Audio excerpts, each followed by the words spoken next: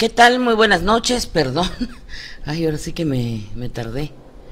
Este, es que está saliendo em, información ahorita en estos momentos y es que pues ya mañana van a notificar, ya eh, van a iniciar un procedimiento sancionador, este, contra el secretario de salud. No dice exactamente el IEPC por qué. Eh, hay un expediente ahí pero este suponemos nosotros que eh, es por la promoción personalizada que ha sido muy evidente. Buenas noches, Lidia, ¿cómo estás? Desde hasta la Ciudad de México. Bueno, les comento qué ha pasado. Pues sigue la el tema de eh, el tema de, de los libros de texto gratuito. Hoy Israel Sánchez Martínez, que es este, el encargado del despacho de la presidencia de la Unión Nacional de Padres de Familia dio a conocer que en todo el país, fíjese, mire, se han presentado 2.200 amparos contra los nuevos libros de texto gratuitos eh, que va a entregar la Secretaría de Educación a 25 millones de alumnos de primaria y secundaria y de escuelas públicas. Y señala Israel Sánchez que son que alrededor del 40% de estos amparos son de la Ciudad de México, de Querétaro, Estado de México y Michoacán. Este, según eh, este encargado de la Unión de Padres, Unión Nacional de Padres de Familia, dice que este, la mayoría de las demandas es por los errores en los libros que a su juicio representan un retroceso para la educación en México y además eh, dice que cada familia estiman que va a gastar entre 5 a 6 mil pesos adicionales para que su hija o hijo se regularice en materias que quedaron reducidas, como es el caso de matemáticas, este y que dice que las conferencias que encabezó la titular de la CEP, Leticia Ramírez Amaya, en estas dos semanas, pues generaron más dudas que certezas, dice eh, una gran mayoría dice no ve que estos nuevos libros garanticen una educación de calidad y pues que sí hay una genuina y verdadera preocupación. Pues así las cosas, 2.200 amparos. Está, difícil. Ya la otra semana prácticamente empiezan las, las clases. Bueno, ¿qué otra cosa le platico? Hoy, pues rebelión en la granja, pero ahora de movimiento ciudadano, fíjese. Toda la... Eh, en, Enrique Alfaro, el gobernador de Jalisco, pues, eh, comentó ayer que, él se iba de Movimiento Ciudadano porque dice, no entiendo este partido que quiere ir solo, no sé qué ruta lleven y que las decisiones pues nada más lo, lo toma el, pues, el dueño de la franquicia, que es Dante Delgado, y que no, no han escuchado a las bases. Y hoy, apenas hace unos momentos, pues ¿qué cree usted? Se le suman al faro, ahorita le digo, eh, dos senadores, entre ellos Clemente Castañeda y Verónica Delgadillo, 12 diputados federales por Jalisco de Movimiento Ciudadano, 16 legisladores locales también de MC y 56 presidentes municipales e incluso uno de los que es punteros, vamos a decir así, para que fuera el próximo gobernador, Jesús Pablo Lemos. Este pues que apoyan al Faro y dicen que sí, este entendemos, dice, y compartimos la legítima posición adoptada por Enrique Alfaro. No podemos normalizar nuestra presencia en un proyecto político que ha decidido minimizar a Jalisco. Dice que, eh, que su, el movimiento en Jalisco sea ignorada sistemáticamente. Dice, no podemos permitir que desde una oficina de la Ciudad de México se quiera imponer una visión que no compartimos. ¿Y por qué? Se dice que hoy en la noche o mañana en la noche se va a reunir ya el Faro con Xochil Galvez, que eh, está claro que eh, los MCistas de Jalisco, pues sí están a favor de que el, eh, el MC se, se, junte con el Frente Amplio para hacer una más amplia la, la este la, la coalición esta, ¿no? de, de oposición. Eh, ¿Qué tal, Peter? ¿Cómo estás? Igual, bendiciones para ustedes. Lidia, igualmente, saluditos. Este, Zoraida, saludos. Isaura, buenos, buenos días. Isaura, ¿qué pasó? Atento, atento. Bueno, no sé si ahí donde vivas ya amaneció. Pero buenas noches, de todos modos. Este, nos pasa a todos además. Bueno, ¿qué otra cosa le platico? Pues eh, MC, un fuerte bastión, pues MC su bastión es eh, Nuevo León y, Jalisco y se le va pues, prácticamente, imagínense, 56 alcaldes y que mueven pues estructuras, que financian los votos, este que organizan las elecciones y también 12 diputados federales y los 12 y dos senadores. Pues está medio difícil el, asunto. Bueno, ¿y qué cree usted? Pues hablando de cosas electorales, eh, hoy Ebrad eh, dijo que, que ayer había dicho Mario Delgado que pues les habían entregado una carta, este Malú Michel, la representante de Ebrad, pero que no le habían presentado pruebas. Y hoy dijo Ebrard que sí entregaron pruebas contra eh, Claudia Scheumann al Consejo Nacional de Morena, o sea, Alfonso Durazo, que es el presidente del Consejo Nacional de Morena, que se lo entregó a él. Dice, a lo mejor no lo ha leído, dice, no, no, no lo ha visto, dice. Dice, yo le mandé una comunicación hoy, dice Brad, en la mañana porque esto se le entregó al presidente del Consejo de Morena, que por cierto, dice, es el órgano en el que se establecieron los acuerdos para este proceso y por eso a él se la entregué, ya está en sus manos. Probablemente, dice Mario Delgado, no esté enterado. Dice que si presentó pruebas, dice sí, presenté todo lo que teníamos y lo que se acordó por parte del partido es que tomarían las medidas, investigarían, investigarían lo necesario y así quedamos. Entonces probablemente, dice Mario, no, no lo sabe, ¿no? Quizá no lo sabe, dice este, y que dice que toda esta información se lo va a entregar a los medios de comunicación, copias, dice, de las pruebas que se entregaron al Consejo Nacional de Morena, pero que también eh, estas, algunas de estas evidencias ya las presentaron ante diversas instancias como el Instituto Nacional Electoral. Dice que, eh, que, que él pide que se cumplan los acuerdos firmados ante el Consejo, en lo que queda eh, del proceso interno y se pronunció a favor de la unidad dentro del movimiento. Dice, todos estamos a favor de la unidad. Lo que necesitamos es también mantener la superioridad ética y moral del movimiento y cumplir, cumplir con lo que se dice. Primera vez en la historia que la gente va a tomar una decisión en una votación secreta y libre, dice este Ebrad. Este, y bueno, ya sabes, son las denuncias de acarreo, de que la Secretaría de Bienestar estén eh, pidiéndole a sus operadores, a los siervos de la nación, que induzcan las respuestas a favor de Claudia Sheinbaum, ¿no? Fundamentalmente. Ya hay también una denuncia de una diputada morenista que eh, también dijo que se han desviado eh, recursos, que lo tiene la Auditoría Superior de la Federación y que no se hace nada. Bueno, ya en Rebelión en la Granja lo que se suponía iba a pasar y el, después del 6 de septiembre pues las cosas se van a poner yo creo que peor. Seguramente eh, algunos articulistas han mencionado que dice que el presidente dijo, bueno, va a ser Claudia y si se va Marcelo, pues que se vaya. Yo creo que Marcelo, no sé si está esperando que lo pepene Dante Delgado, este, pero con muy pocas posibilidades o nulas posibilidades de de brillar, más bien le ayudaría este a Morena, porque mucho de la clase media se iría con, Marcelo. Pero vamos a ver, vamos a ver qué, qué, resulta, pues se está poniendo bueno el asunto.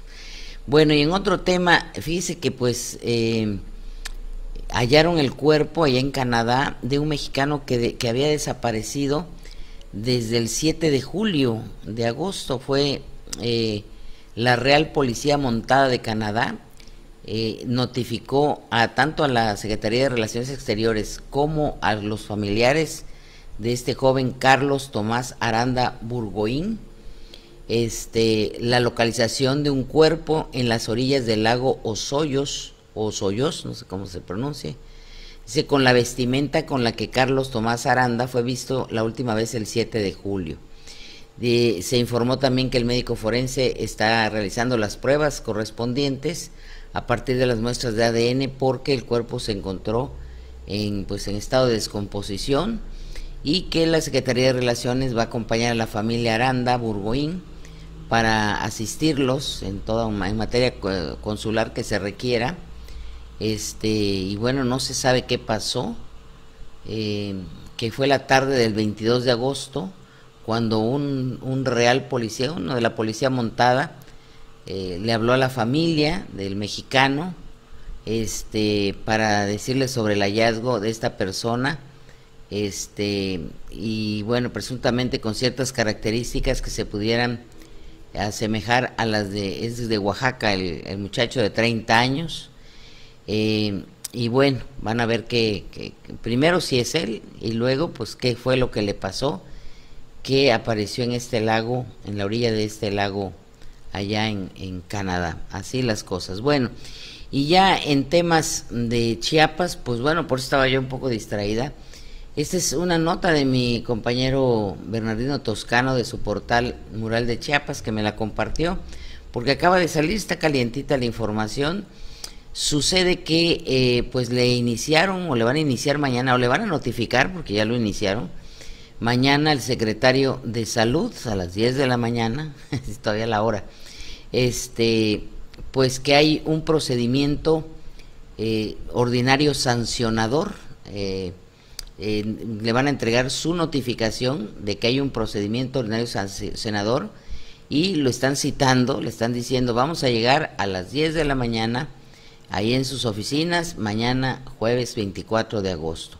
Y es que hay una, en la Comisión de Quejas y Denuncias del Instituto de Elecciones y Participación Ciudadana, eh, hay una queja que es IEPC 023-2023.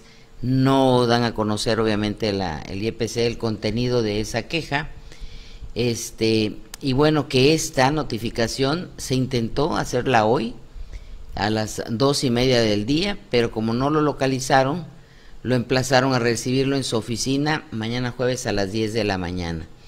Y le digo, como no, eh, en, esto que dice mi, mi, compañero Bernardino Toscano, dice que no, no especifica eh, de qué se trata la denuncia o los motivos del por qué se le inicia el procedimiento eh, al titular de la Secretaría de Salud. Se ha mencionado en redes sociales de hacer promoción personalizada prohibida por el artículo 134 de la Constitución General de la República.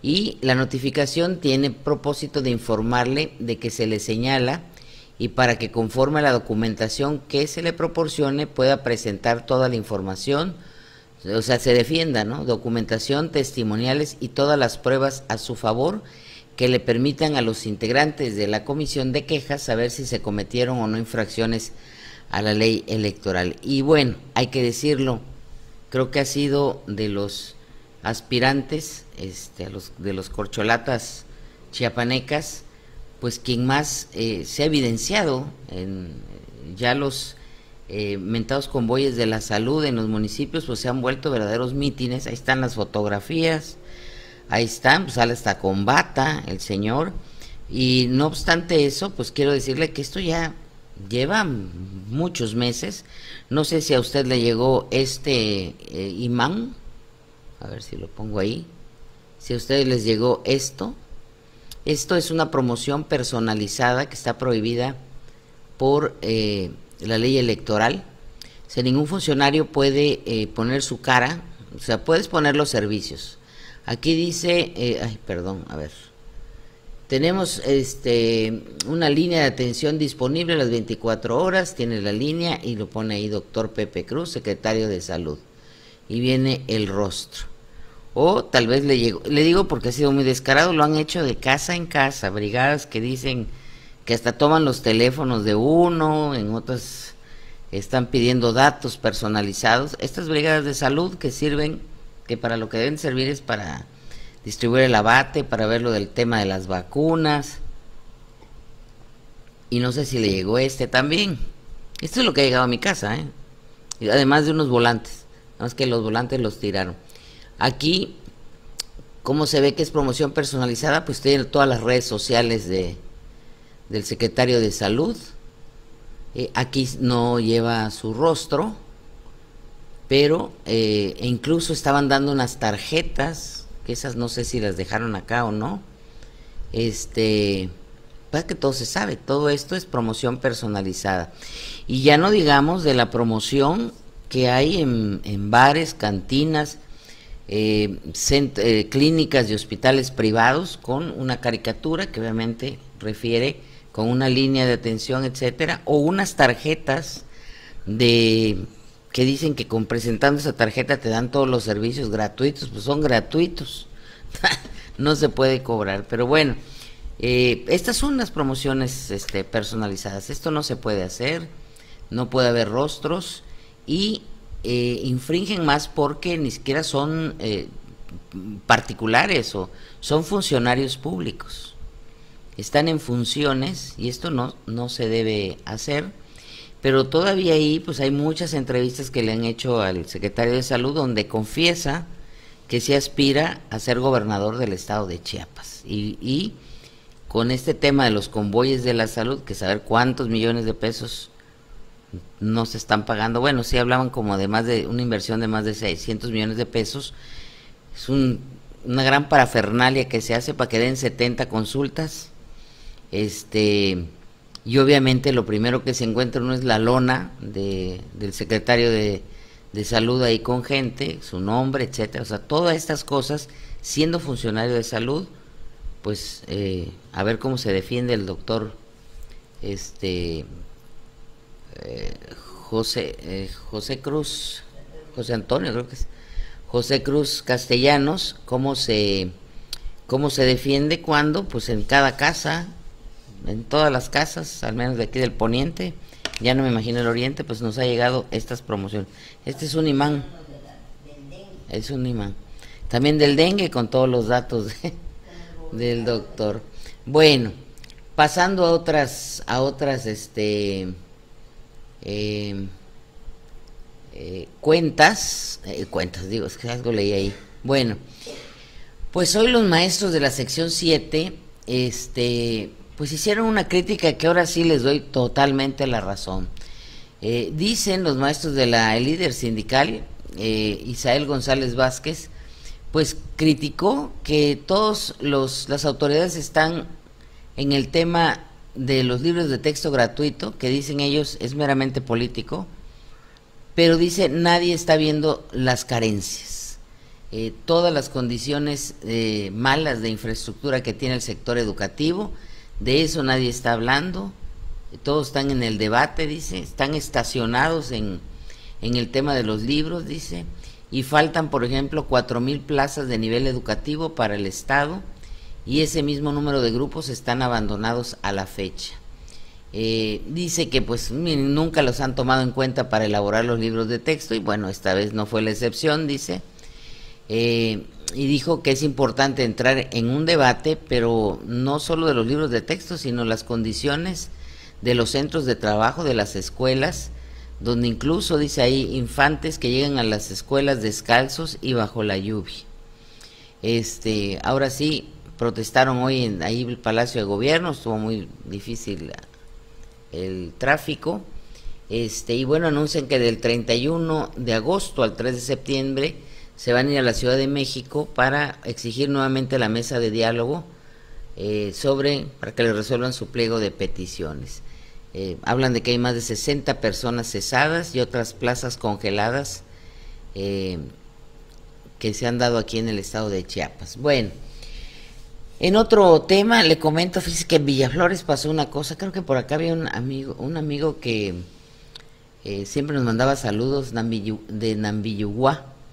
Este, es un cerro, ahí en Villaflores, eh, cinco miembros de una familia se fueron de excursión, afortunadamente todo salió bien, se fueron de, excursión, eh, porque es un lugar muy bonito, muy atractivo, este, como para reencontrarse con la naturaleza, hacer caminata, etcétera. Bueno, pues como empezó a llover y se puso mal el clima y uno de ellos se, se resbaló o algo así, se golpeó la cabeza, se empezaron, se desorientaron, todos se desorientaron por dónde era el camino y bueno, ya los estaban buscando, se, se aparentemente se extraviaron el, el domingo y bueno, ya sus familiares con, con todo esto que está pasando, bueno, uno imagina lo peor. Eh, yo también imagino cómo los familiares, cómo han de haber sufrido esos, esas horas.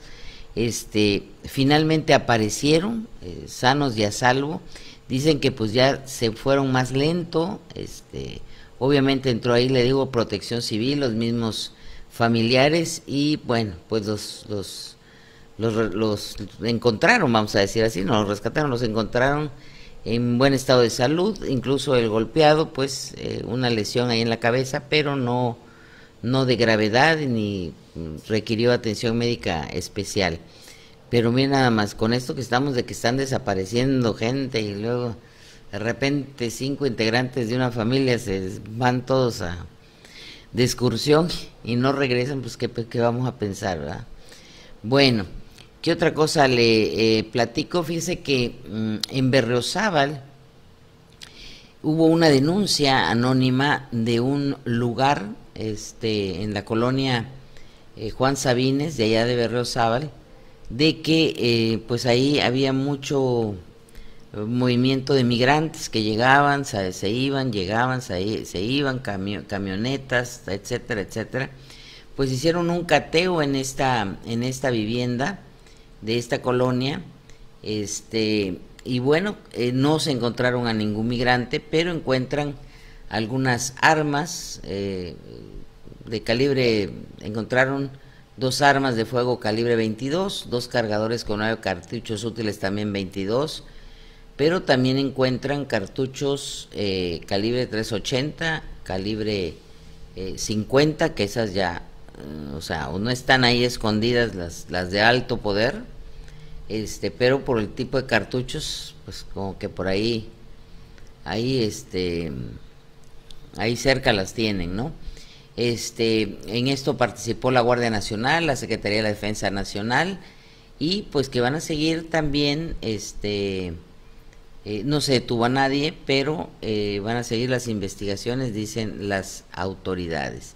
Y bueno, finalmente, ¿qué le, qué le platico?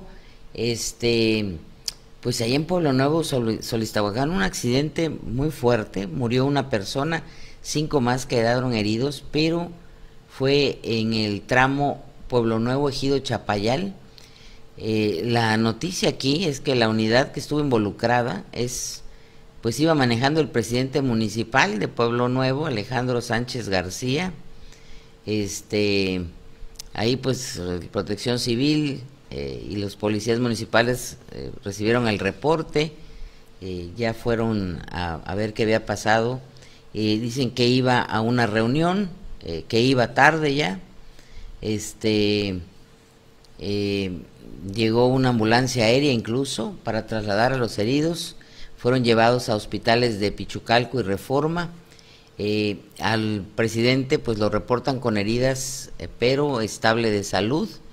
Según que conducía la camioneta, llevaba a bordo personal de seguridad y se dirigían a esta comunidad Chapayal, iban a tener una asamblea pero que iba retrasado y parece ser que iba a exceso de velocidad y otras versiones hablan de que presuntamente o aparentemente iba en estado de ebriedad. Lo que sí es que terminó volcándose y hay una persona fallecida y cinco heridos, entre ellos el propio presidente. Bueno, pues así, así las cosas aquí en, Chiapas.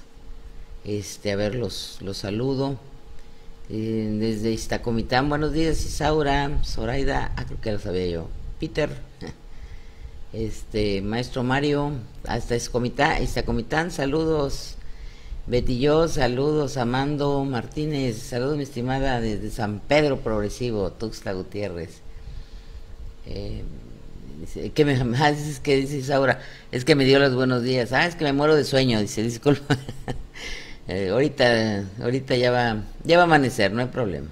Gloria, hola Gloria, Ángela y Alberico, hasta Pijijiapan. Oye, que van a hacer el queso. Uy, eso le va a doler a los oaxaqueños, se van a pelear con ustedes los oaxaqueños. Sí, dice que la próxima semana, y ahí que nos diga Ángela, este, creo que va a ser el jueves, eh, pues es un reto, de hecho están ensayando ahorita todavía van a ser, van a querer romper el récord Guinness de eh, el quesillo más grande del mundo. Creo que es de un metro y veinte, algo. Pues imagínese usted como de por acá, así más o menos. este, 600 kilos, me parece que van a ser. Este, y bueno, la verdad, este, ojalá rompan el récord.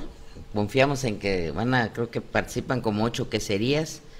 Este, porque la verdad, el mejor queso, ni Oaxaca lo tiene, es el de Pijijiapan. Y perdónenme si en otros lados hacen quesos, yo sé que en Tonalá, en Arriaga hay unas queserías, este, en Tecpatán también hacen quesillo, pero la verdad, eh, la fama que tiene ya, este, y además es una industria que ha crecido mucho ahí en Pijijiapan, ya exportan, eh, incluso algunas queserías, allá a la orilla de la carretera, hoy me dijeron el nombre de esta quesería muy famosa, eh, que venden también pozol, que está muy rico el pozol, dice, porque le echan un poco de leche o algo así.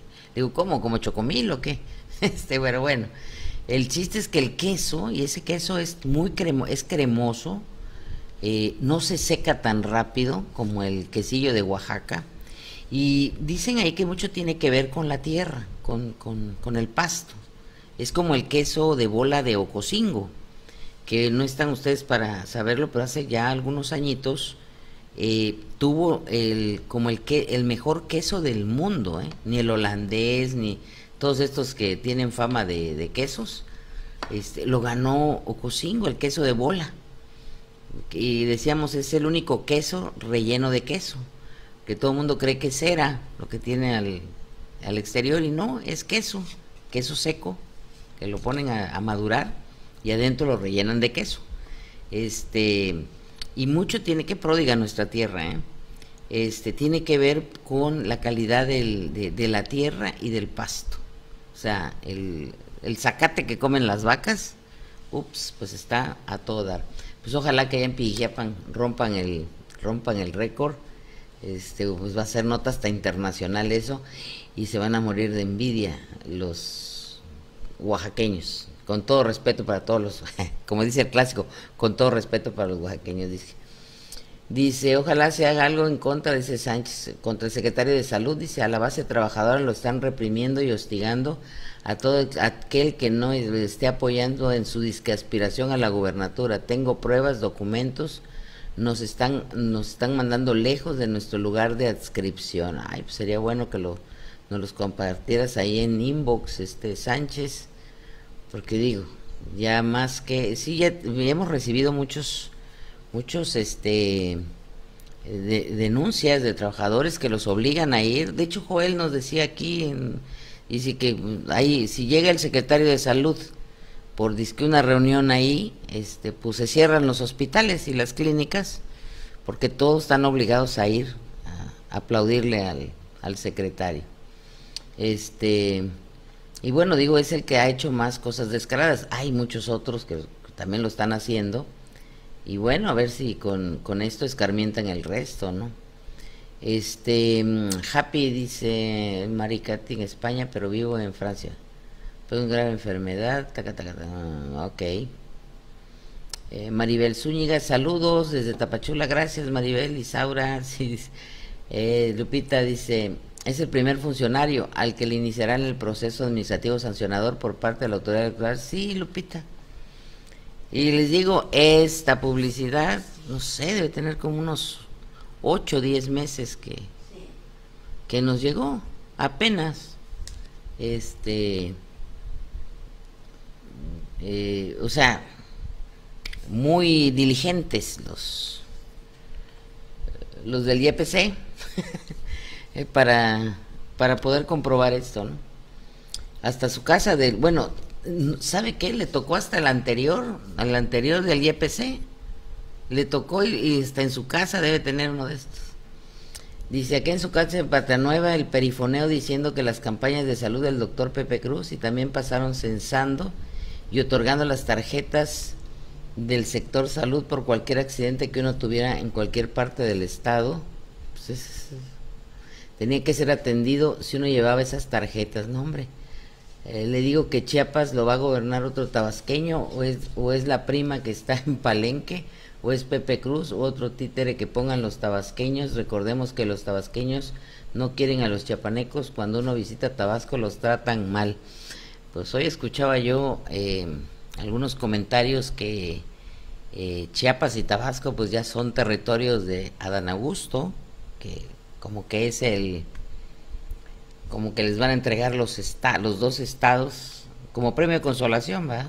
Cuando ya el presidente elija a Sheinbaum, este pues obviamente este pues está la, la duda. Y bueno, también ya vieron que ya aparecieron eh, espectaculares de... El que ayer se bajó, bueno, lo bajaron a Zoe Robledo. Luego este, aparecen ya más profusamente carteles con el eslogan que era de Robledo. ¿eh? Eh, lo mejor está por venir. Que fíjense que ese, porque decía o rumbo al porvenir Sí, porque lo mejor está por venir, creo que lo, lo utilizó el güero, si mal no recuerdo, este, antes de que se destapara. Luego ya utilizaron, creo, otro otro eslogan, este, y rumbo al porvenir, era de Robledo, y ahorita sale eh, Manuela Obrador, obviamente con el tío, con el primo, perdón, es su prima, este, eh, pues abrazados ahí, ya saben, todos tienen que salir abrazados del presidente, si no, si no, no vale, dice. Este, dice Sánchez, siempre ha sido gratuito, claro, que regale tarjetas gratuitas para hospitales privados, consultas particulares, dice, ahí sí por algo, dice, saber quiénes son sus coordinadores de campaña que no piensan ni un poquito y creen que la gente es tonta, ¿no? Que con esa tarjeta, ¿no? Saludos, Cande. Rafa, no sé qué tan cierto sea, pero a propósito de las carencias, dicen que en Chihuahua ordenaron que ya no va a haber financiamiento para aire acondicionado. De por sí dice que son muy pocas las escuelas que tienen este servicio y pues critican que el gobierno de Chihuahua ya no les autoriza instalar o dar mantenimiento en las escuelas que necesitan aire acondicionado, sobre todo en escuelas que están en las zonas de ser, ¿no? Y pues se van a morir los muchachitos ahí de, de, de calor. Saluditos, Flori. Y pues ahora con lo de los libros de texto parece ser que esas críticas, eso le critican a la gobernadora Maru Campos, que está preocupada por los libros y no por las escuelas. Pues sí, es que la verdad es que ya se politizó el tema de los de los libros, ¿no? Este, hay que ser francos, para bien o para mal. Este, y pues de las de lo que falta, de cómo están las escuelas, nadie dice nada. Saludos Atenea. Gracias. Paco dice, pues aprovechando que harán... Espérame, ya te me perdiste. Dice, pues aprovechando que harán el quesillo más grande, pues de una vez que pongan la mega super tortilla y unas buenas carnitas para la tlayuda y romper otro récord Guinness. No, Paco, les rompe. Imagínate la tlayuda más grande del mundo. No, no, no, no, no. bueno, si ya Llegan los de Chimalapas y ahora sí se posesionan de toda la costa. Ah, tremendo. Isaura, ¿qué me dices Isaura? Dice, dice, es que dos o tres días de no dormir, dice, y me recargué mi cabeza y galán la cabeceada, dice. Hay que descansar. Ya voy a terminar yo para que los quesos y la crema es lo mejor de Chiapas, sí. Para medicamentos, saludos. Gracias, Mirna. Dice, saludos, dice que en una noche fresca después de una torrencial lluvia que dejó mi Tonalá como Venecia. Eh, qué afortunado eres. con Cayuco a la puerta deben de, estar ahí en, en, Tonalá. Bueno, con que no nos haga destrozos la lluvia, todo está bien. Qué bueno que refresque y además, qué generoso es este estado. Se dan cuenta que cuando está la sequía se pone pues todo café, eh, toda la naturaleza muerta. Dos lluvias caen y vuelve a reverdecer todo. Eso hay que cuidarlo mucho. Ajá, dice, nos invaden los oaxaqueños, los y los tabasqueños. Ay, señor. Bueno, a ver qué nos depara. ¿Hay algo peor que nos pueda pasar a los chapanecos? Sí, hay cosas peores. Vendrán, diría la Biblia. bueno, y siempre es un gusto platicar con ustedes. Dice este. Bueno, yo ya me voy. Este, los veo mañana eh, jueves ya en punto de las 9 de la noche. Descansen, por favor, y ya no hagan corajes. Les cuento, la, ah, bueno, la otra semana es lo del quesillo. Ahí les voy a contar cómo, cómo salió y cómo quedó. Nos vemos, que pase buenas noches.